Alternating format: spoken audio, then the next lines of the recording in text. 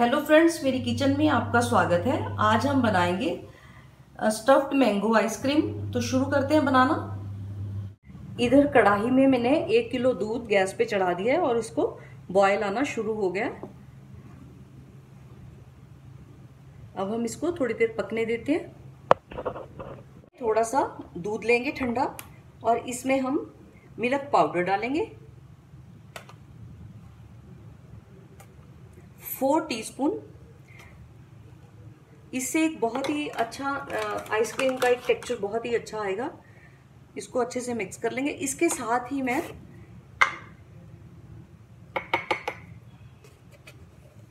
One teaspoon इसमें custard powder डाल रही हूँ। सिर्फ़ इसका कलर थोड़ा चेंज करने के लिए। इसको अब हम अच्छे से मिक्स कर लेंगे ताकि इसमें लम्ब ना रहे। जितनी देर में हमारा दूध अच्छे से पक रहा है, उतनी देर में हम जो मैंगो है, उनको हम अंदर से जो यदि गुट इसकी गुठली है, वो निकाल लेंगे।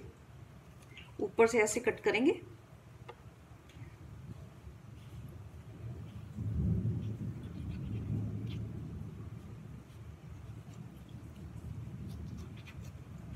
ऐसे चारों तरफ़ से इसको खाली कर लेंगे। इसका पूरा पल्प हमने बाहर नहीं निकालना।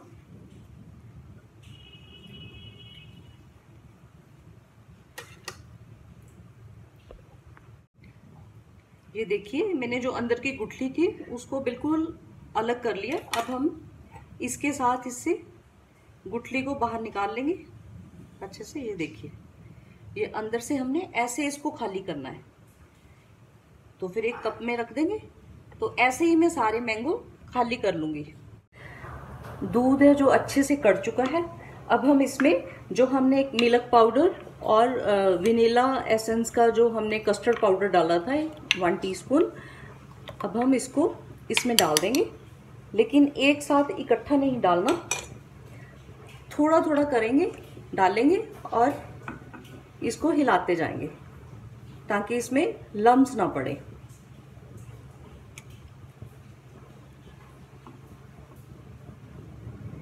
आप वेनीला कस्टर्ड पाउडर की जगह पे आप इसमें केसर भी डाल सकते हो।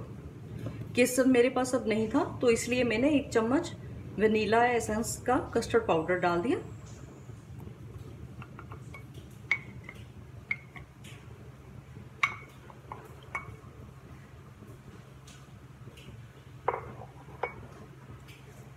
अब हम अच्छे से इसको थोड़ा पकने देते हैं। दूध हमारा अच्छे से गाढ़ा हो चुका है, ये देखिए। अब हम इसमें कंडेंस मिल्क डालेंगे, एक कटोरी, जहाँ आपने मीठे के हिसाब से जितना लाइक करते हो। शुगर भी डाल सकते हो आप, लेकिन मिल्क मेड से काफ़ी अच्छा टेस्ट आता है आइसक्रीम में। तो इसलिए मैं इसमें मिल्क मेड डाल रही हूँ। आप अपने टेस्ट के हिसाब से इसमें डालिए, जितना मीठा लाइक करते हो आप। दो मिनट के लिए हम इसको और पका लेंगे। अब ये बिल्कुल रेडी है हमारे आइसक्रीम के लिए। ये देखिए, कितना थिक हो चुका है। अब हम गैस का फ्लेम ऑफ़ कर देंगे। अगर आप चाहो तो इसमें आप ड्राई फ्रूट भी डाल सकते हो। तो अब हम इसका ठंडा होने का वेट करते हैं। हमारी आइसक्रीम की स्टफिंग है जो, बिल्कुल ठंडी हो चुकी है। ये देखिए कितनी क्रीमी है। अब हम इसको मैंगो में भर देंगे। इसको अब हम कप में रख देंगे। और ऊपर से जो हमने इसकी कटिंग बंद की थी, उससे हम इसको बंद कर देंगे। ये देखिए। ऐसे ही मैं सारे मैंगो रेडी कर लूँगी, ऐसे। ये बहुत ही टेस्टी आइसक्रीम बनती है, आप ज़रूर ट्राई करना। मैंने सब मैंगो को भर के रेडी कर लिया। अब मैं इसको फ्रीज़र में लगा दूँगी ओवरनाइट के लिए। तो हम मिलते हैं। हमारी मैंगो आइसक्रीम बन के रेडी है। ये देखिए। अब हम इसका छिलका उतार लेंगे। तो इसका अब हम छिलका उतार लेंगे आराम से।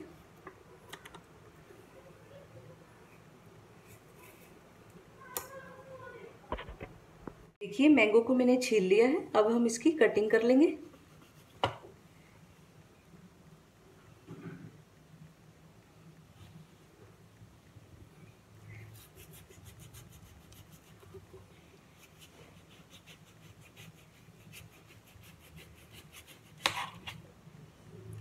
ये देखिए, कितनी अच्छी हमारी मैंगो आइसक्रीम बन के रेडी हुई है। स्टफ्ड मैंगो ऐसे ही मैं सारा रेडी कर लूँगी।